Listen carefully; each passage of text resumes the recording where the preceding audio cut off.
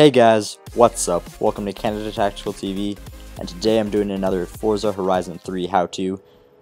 Uh, I'm pretty sure this is the first video on how to get more people to join your club, so yeah, let's get right into this. So I'm going to be showing you guys, once again, how to get more people to join your club.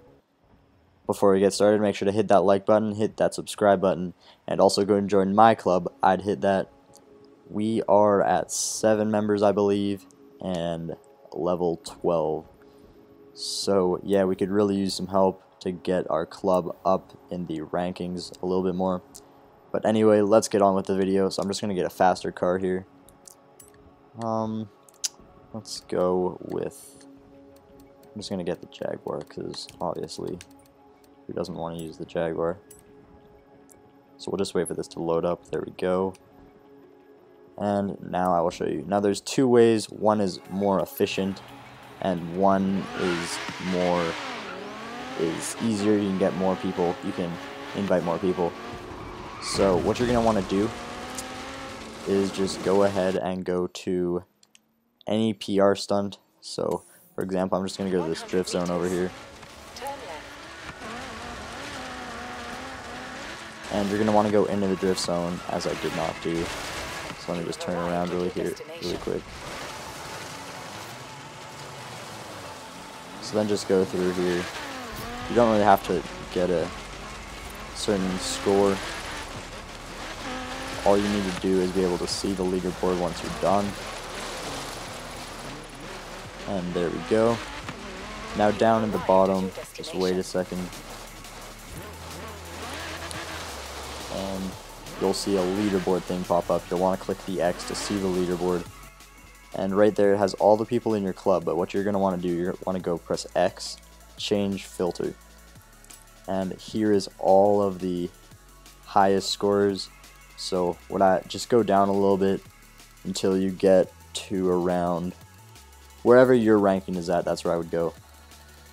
Oh, I'm pretty sure you can go like this and press X again and those are all the people near you, so near your ranking.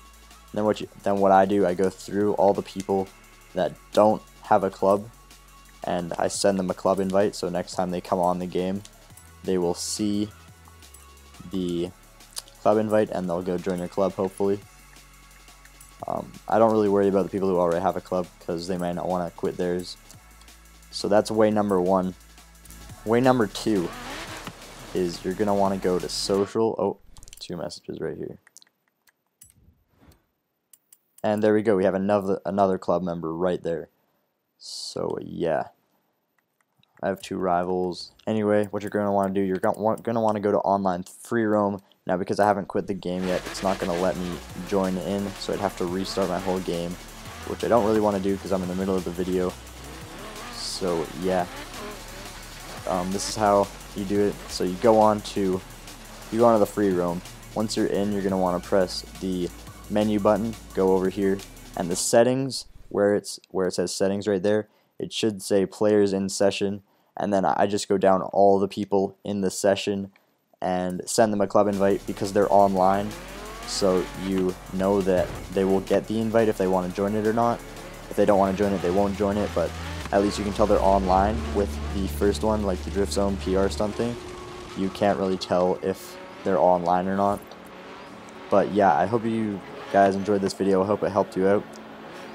Uh, go join my club if you really want. I hope you want to, because I want to really get it up there. Not obviously won't be like first or whatever, but maybe we'll get it into the thousands or so. That'd be great. So yeah, once again, make sure to hit that like button, hit that subscribe button, leave a comment for any video ideas you have, and I will see you guys later.